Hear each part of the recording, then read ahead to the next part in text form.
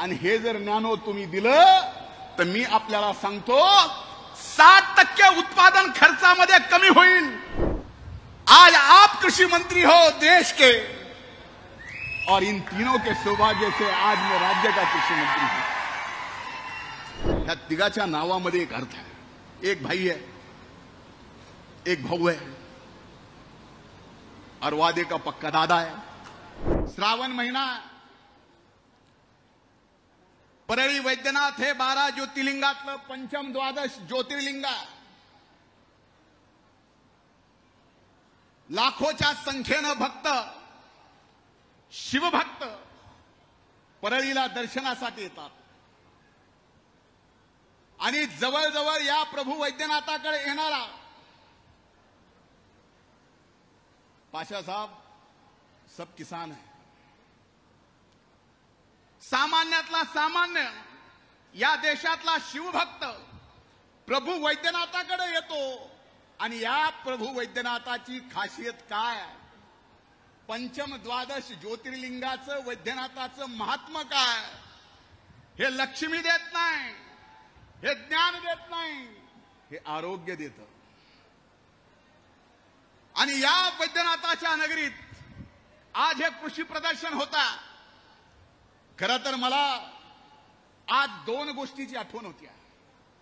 एक आजचा दिवस राज्याचे माजी मुख्यमंत्री स्वर्गीय सुधाकरराव नाईक यांची जयंतीचा दिवस आहे.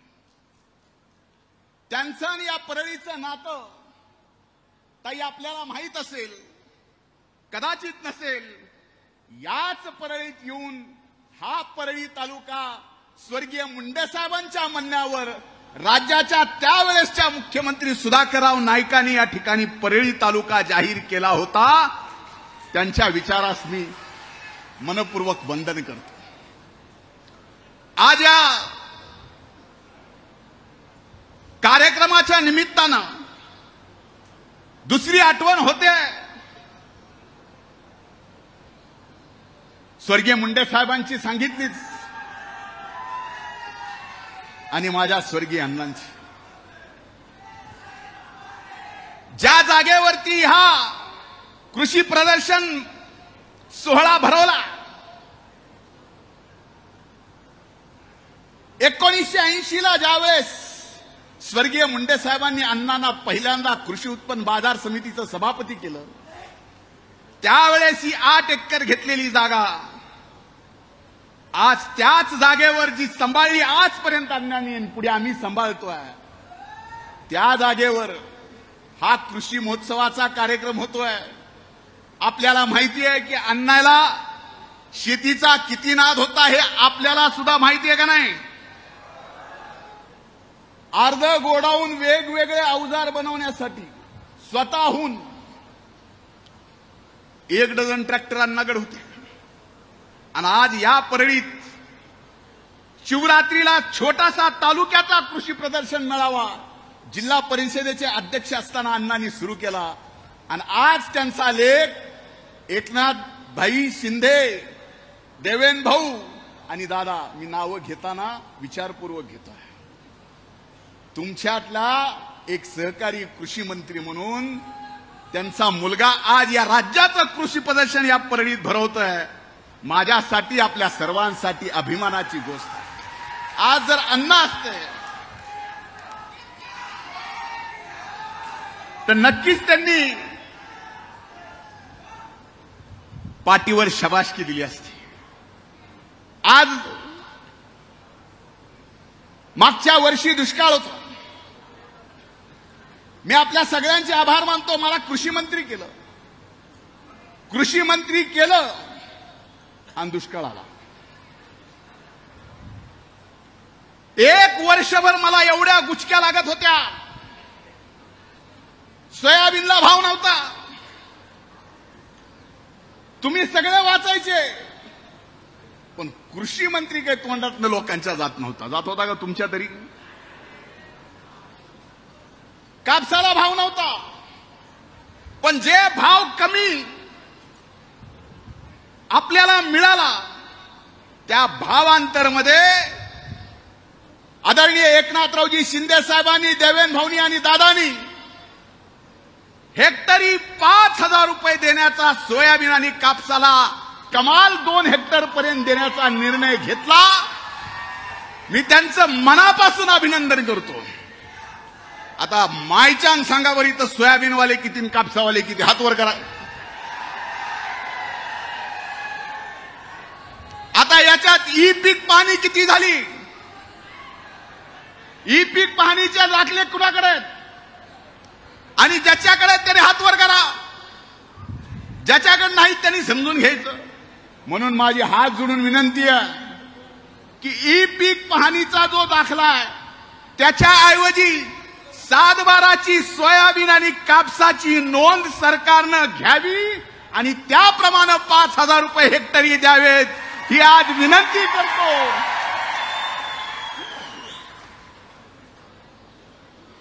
खर तर पीक विम्याच्या बाबतीत पंकजाताईने आपल्याला सांगितलं महाराष्ट्र देशातलं पहिलं राज्य आहे की ज्या राज्यात एक कोटी सत्तर लाख शेतकऱ्यांनी देवेंद्र भाऊ आपण घेतलेला तो निर्णय एक रुपयात पीक विमा सरकारचे केंद्र सरकारचे मिळून जेवढे पैसे कंपन्याला दिले तेवढेच पैसे शेतकऱ्याला सुद्धा मिळाले. मिळाले का नाही? पंचवीस टक्के मिळाले. उर्वरित द्यायचे राहिलेत. खरंय का नाही? ते पाहिजेत का नाही?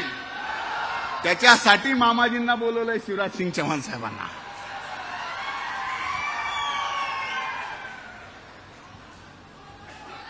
ना आपको जानकारी है, ना मुझे जानकारी है। लेकिन 30 अप्रैल में जब अपन सब चुनाव में थे, कोड ऑफ़ कंडक्ट लगा था 30 अप्रैल को कृषि मंत्रालय से एक रिजुलेशन पास हुआ और जो क्रॉप कटिंग कैलकुलेशन है, वो सारा बदल गया। इस कारण बताते हुए आज हर कंपनी बता, बोल रही है कि वो क्रॉप कटिंग का जो 30 अप्रैल का निर्णय या तो उसमें बदल लाओ तो ही हमारे किसानों को जो रुका हुआ क्रॉप इंश्योरेंस है, वो मिलेगा। आपसे, मामा जी, मेरी नहीं, देश के सारे किसानों की उम्मीदें जुड़ी हुई है।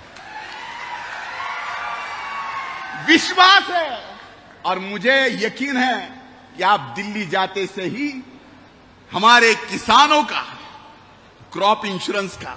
जो मसला है वो हल करेंगे। मला आजही आठवतं इन्शुरन्सचं आमचं भाऊ तुम्ही अनेकदा म्हणला दादा तुम्ही सुद्धा बीड जिल्ह्याच्या बाबतीत म्हणल्या ताई म्हणल्या बीड जिल्हा नंबर एक वर असतो इन्शुरन्समध्ये हे खरं आहे.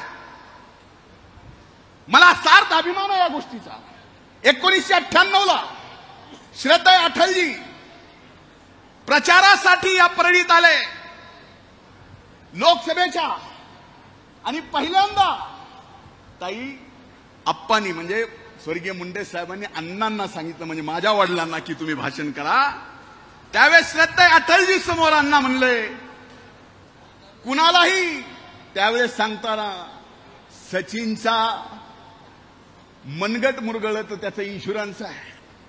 पण शेतकऱ्याचं इन्शुरन्स शेतकऱ्याच्या पिकाचं नव्हतं. त्याची मागणी केली आणि त्यावेळेसपासून ही योजना आली. ही पूर्णत्वास नेण्यासाठी ह्या ज्या अडचणी आहेत त्या दूर कराव्यात. एवढीच मी मागणी करतो. आणखीन महत्वाची एक मागणी आहे. हात जोडून केंद्र आणि राज्य सरकारला केंद्रानं तर फार मोठं पाऊल उचललंय सेंद्रिय शेती संबंधित. आज आपण बघतोय युरिया डीएपी ह्यानी आपण बेजार आहेत का नाही? रोजगारी मिळतोय का? रोजगार मिळतोय का? हो का नाही? हो का नाही? मिळाला तर केवढ्याला मिळतो? काय रोज? आणि एक एकरमध्ये युरिया टाकायचा तर किती दिवस लागते? दोन दिवस.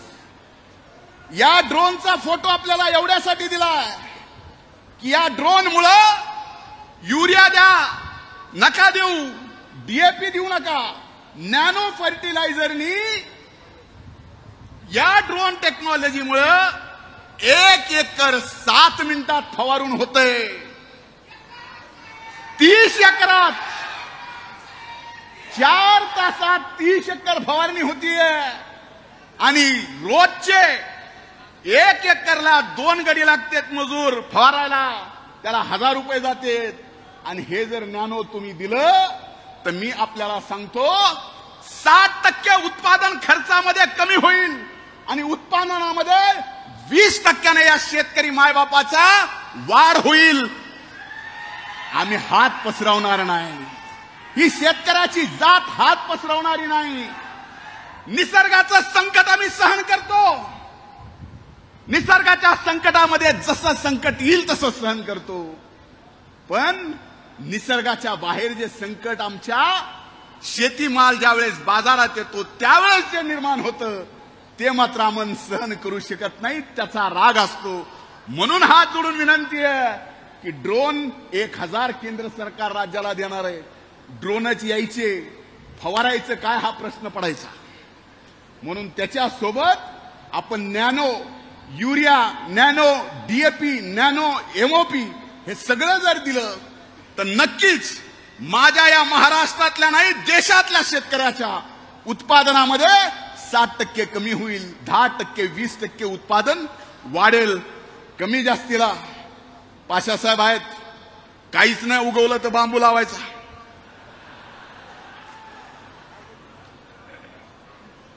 आता दाखवलं. लावा. माझी एवढी विनंती आहे. की आज माझी एक जीवनातली आठवण सांगतो.